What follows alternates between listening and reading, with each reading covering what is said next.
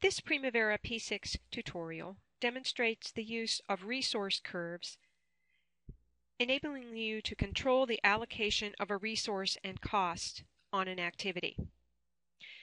You can assign a resource curve to any resource or role assignment on activities that have a duration type of fixed duration and units per time or fixed duration and units.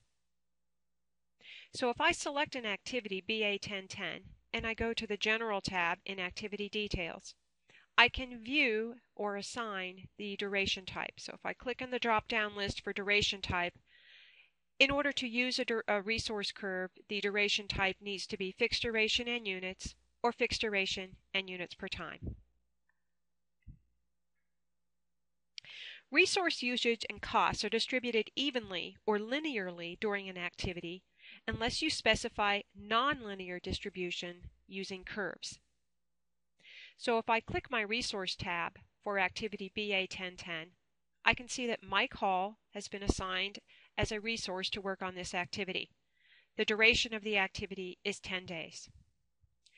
If I view my resource usage profile for Mike Hall, I can see by looking at the profile that his time is in fact distributed linearly or evenly over the duration of that activity. I'm going to go back to my activity details.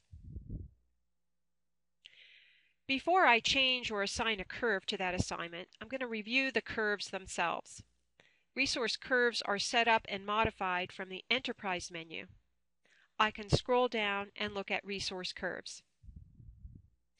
When you get to the Curves dialog box, you'll see that there are 12 default curves that come with the software.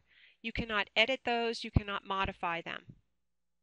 You can, however, have global curves, which are available to all resource assignments and can be modified. If I select the backloaded curve and click Modify, I can view or edit how the resource assignment will be distributed. So I can see with the backloaded curve that most of the resource distribution will occur towards the end of the duration of the activity, and I can actually see the percentages that would be uh, applicable. If I come down to Mike Hall now and access the curves and assign the backloaded curve to that resource assignment,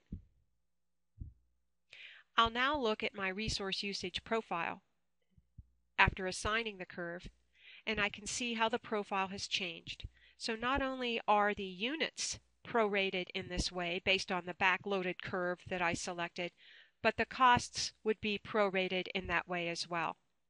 So once again, the resource curves are utilized to assist you in distributing resource usage and costs in a nonlinear way over the course or over the duration of the activity. Thank you. Hope this helps.